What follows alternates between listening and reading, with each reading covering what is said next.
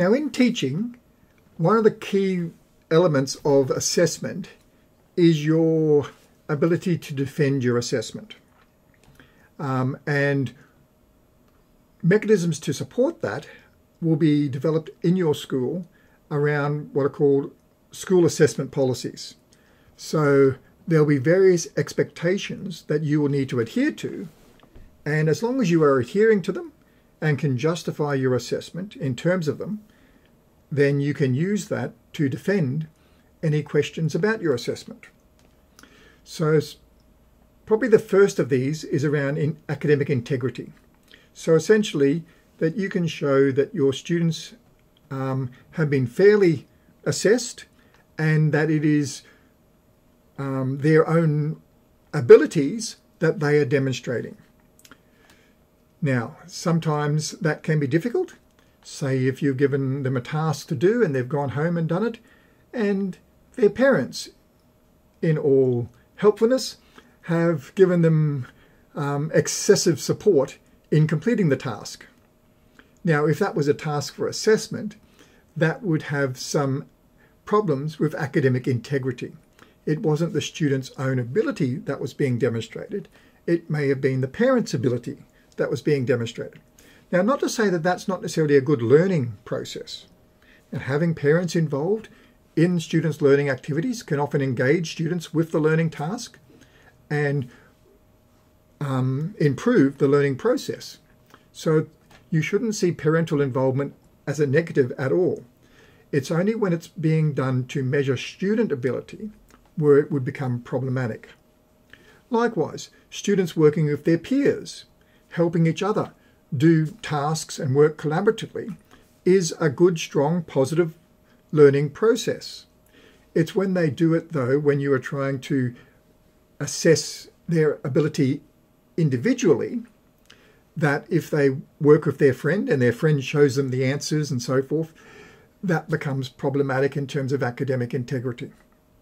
So there is a balance that needs to be approached. There are times when you need to assess things and students need to be demonstrating only their own ability, but there are times when you can accommodate other forms of assessment, such as group assessment, where you assess the ability of a group and you report on the ability of the group, not on the individual.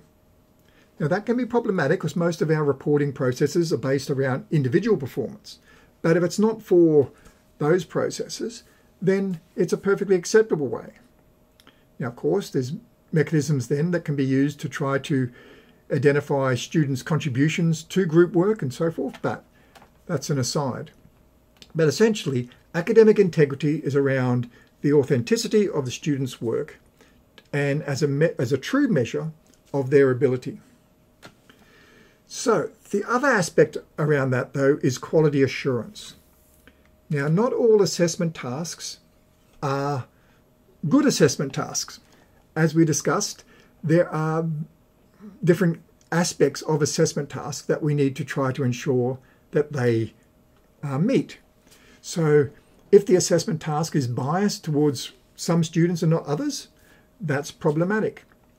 If it has a lot of uh, opportunities for um, interpretation and misinterpretation so that students may interpret things very differently to how the assessor, the teacher, in terms of marking it, interprets what needs to be done. That's problematic. So, quality assurance is an important aspect of um, your assessment elements that you need to develop. Now, some ways of improving that is through engaging in professional learning so here at the university, of course, in preparation to becoming a teacher, you're engaging with professional learning, but that needs to continue well beyond your initial teacher education.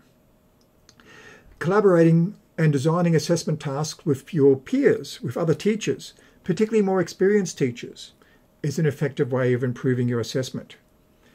Um, sharing your learning intentions and objectives and, and criteria so that others can look at those and see how it relates to and, get, and you receiving feedback on those criteria.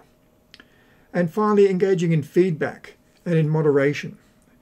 And there are some formal ways of doing this that we'll discuss in a moment.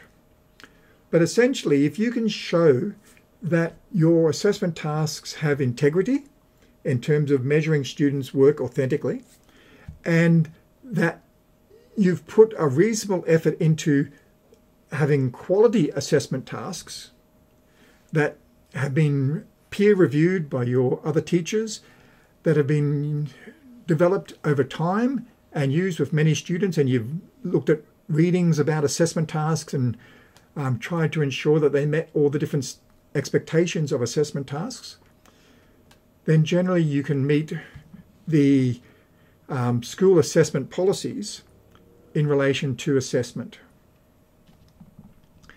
Okay, there are those some significant aspects that you do need to be mindful around ethical and legal implications of assessment.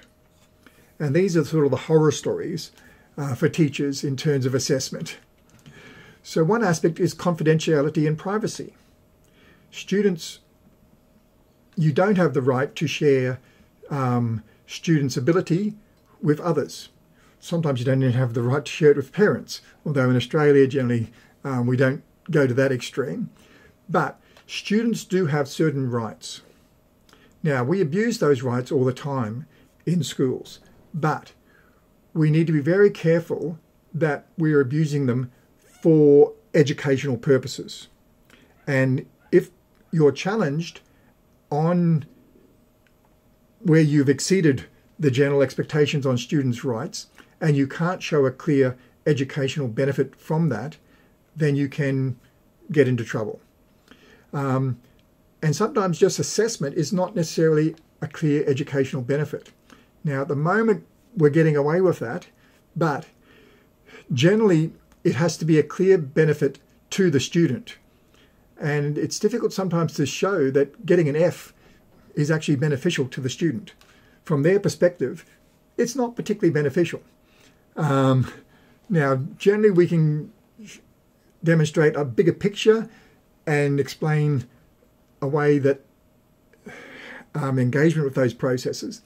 But if they're taken to court, and sometimes these issues are taken to court, thankfully not very often in Australia, but it happens a lot in some other countries, particularly in the United States, then you have to be very careful around um, what you have and haven't done within a school environment in terms of assessment.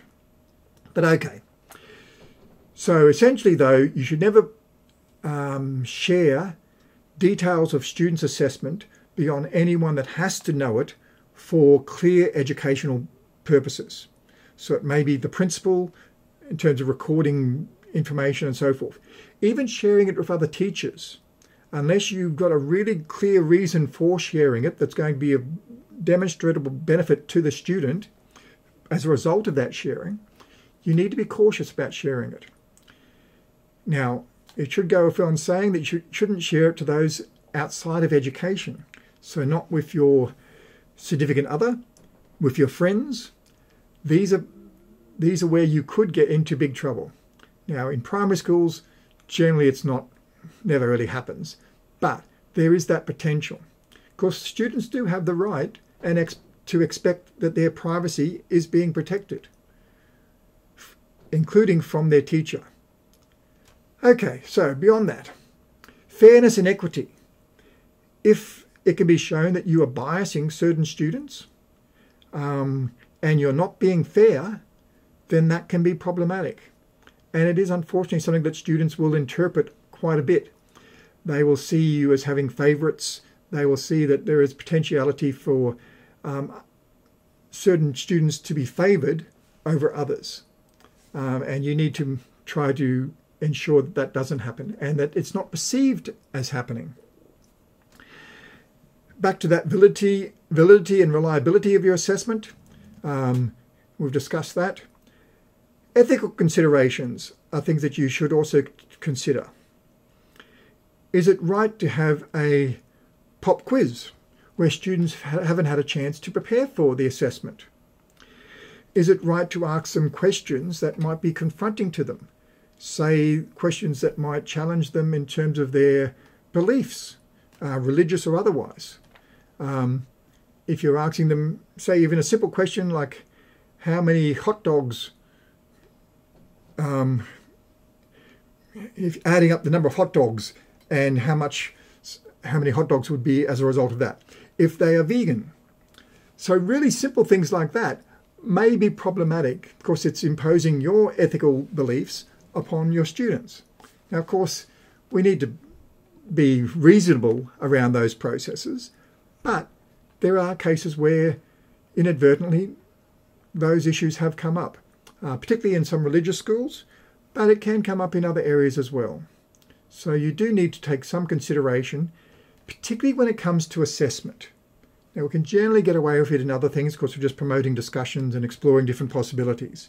But if it's in assessment and if it does impact upon students' ability to, to demonstrate their learning, then that can be more problematic. Okay, there can be some legal compliance aspects. Generally, that's not a huge problem in, in Australia, but there are certain legal requirements around assessment. Um, probably one of the biggest ones you need to be careful on is you have you can only report to parents on the A to E scale. So giving them other forms of feedback and reporting is actually illegal in Australia. Um, uh, wasn't very long ago when we didn't actually go about giving parents very comprehensive, detailed uh, portfolios of students' learning that broke down all the learning outcomes and gave them scores on all these different aspects. Uh, parents reacted to that, and through the political process, um, laws were enacted to prevent schools from reporting on students' progress other than on an A to E scale. So, regardless of your good intentions, in providing more detailed feedback to your parents, uh, you can't legally do so. So there are some just sort of, again, no one's really going to prosecute an individual teacher for doing those sort of things, but they are things you need to be aware of. And finally, around accountability, that you are accountable to the assessment practices. Um, ultimately, your principal is accountable. Uh, so that's a good thing for teachers.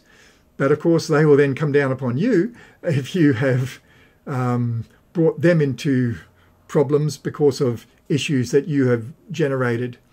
But in schools, the principal is ultimately accountable for what occurs in the school. But that's not to say that you won't also be held accountable by your principal for your own practices in your classroom.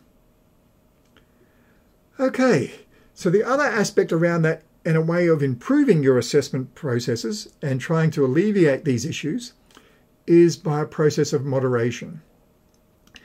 So again, it's getting together with your peers, other teachers, and sharing um, students' work, again, ethically in this case, of course it's for a clear educational benefit, and having them make judgments and comparing it with your own judgments. So if you can show that um, other teachers have looked at students' work and they've said, yes, that's also a C standard. And you've also agreed it's a C standard. And you've been able to demonstrate that you do that regularly. Then that's a very strong way of being able to um, defend your judgments on students' performance by having that moderation process in place. And it doesn't have to happen with every assessment task by any means. And there are some more formalized ways of doing moderation, which we apply mostly in high schools and particularly senior high schools, where we can use other moderation techniques. Um, but in the main, uh, collaborative moderation with peers is an acceptable process in primary schools. So have a look at those moderation documents and just think about how you would moderate with your peers on your assessment so that your judgments on your students can be improved and you can defend your judgments by demonstrating that other teachers would also have come to the same judgment on your students' performance.